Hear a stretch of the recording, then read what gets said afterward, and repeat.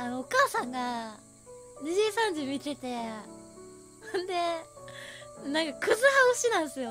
なんか リアルになんか女子のさなんかとこを攻めてくんのよ。女子の推しを。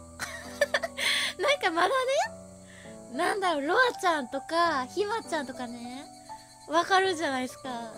わかる？そうか。リアルなとこ行くんがねそう。親が家畜っていうなんだろうクズはあの家畜って呼ぶのやめてくれないかな本当に。そう家畜って呼ぶのどうにかちょっとやめてほしいなと思って。私もちょっと反省してる。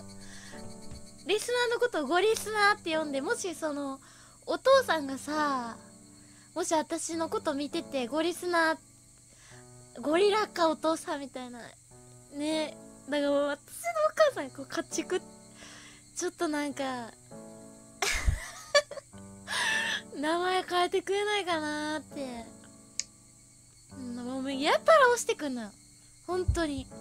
クザーくんと仲いいのみたいな。あの関西あるあるなんですけどあのお母さんがなんか仲なんかこの同級生のなんか気に入った男の子を押してくるみたいな。えクザーくんと仲いいの。みたいな。いやそうでもないよ。いや普通普通そうでもないそうでもないって。あるあるですよねそれ。そうでもないよ。クザーくんうちに呼ぼう。あるあるやなそれ。でいやいや他にはいっぱいなんでクザーくんなのって言ってもこの見せるんですよ画像をねおかなえさんとかなんかいるじゃんとか言ってもねやっぱクザーくんみたいですね。顔がいいらしい。顔が好きらしい。いや関西あるある本当に。クザーくんご飯誘いなよ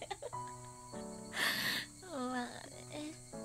ほんまきではこうさんこうなの。顔らしいよ顔らしいですね。許しやってくか。